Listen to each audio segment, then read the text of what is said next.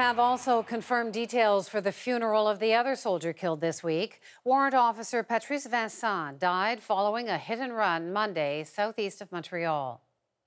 His family released a statement today extending their thoughts to Corporal Cirillo's family and friends, saying, Know that we share your pain and we are with you in our hearts. They shared a message for the family of their son's killer. Our thoughts also go to the Couture-Rouleau family through these difficult times. Warrant Officer Vincent's funeral will take place November 1st at the Longueuil Cathedral.